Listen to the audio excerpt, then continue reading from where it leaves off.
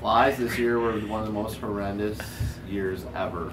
Oh come on, no they Yeah. weren't. I think they're becoming like genetically re-engineered or something to bite harder and be more ferocious than ever. Get to the mosquito netting. Yes, we, we actually have a, a secret weapon and it failed this year. That's all I can say. It's been effective in many, many years past and it was just a fail this year. So we're gonna have to reevaluate our, our fly technique. What's the secret weapon? We can't Mosquito reveal that, it's a secret.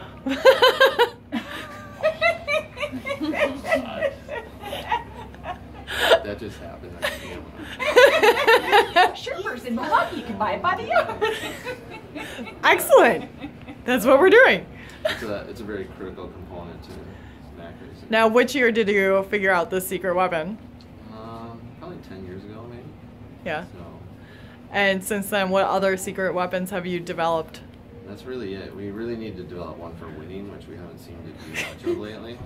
But we always have fun, and uh, we have a really great team sailing on the boat Blue, and uh, we have a lot of fun. And tell me about your shore support here. We have an awesome shore support team. Shelly Galligan, Oops. and her daughter Bryn. And that's a pretty strange look that she's got going right now. You But taught her that. anyway. So this is their first time as It's shore support, yeah, their first year yes. shore support. Shelly's done one Mac race.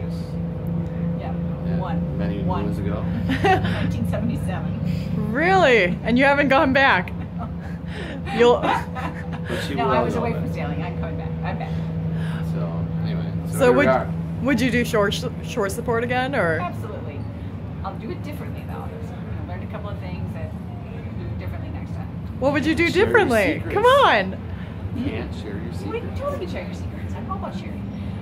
Um, I would just make more lists of what goes and what stays when I'm hauling things all over, and um, I think I would have a room closer to the ferry for transporting all the stuff. You didn't learn that they transport that for well, you? they do, but we were at a little bed and breakfast um, way on the other side, and it was this beautiful little Victorian with this tiny little sitting room, and I showed up with 7,000 bags and sails and delivery sails and canopies and battens and food and rum and, and, and overwhelmed them. Oh, I'm sure they were thrilled to have you. Or not. They uninvited me back. Oh no, Well, I really? can, I can go back, but not my stuff. So I would, yeah, making a few adjustments for next time. We're doing Port Huron next, so I can Get to do it all start over to- again yeah, next I week. can, I can change a few things even for that. oh, that's excellent. So you learn quickly. Yes.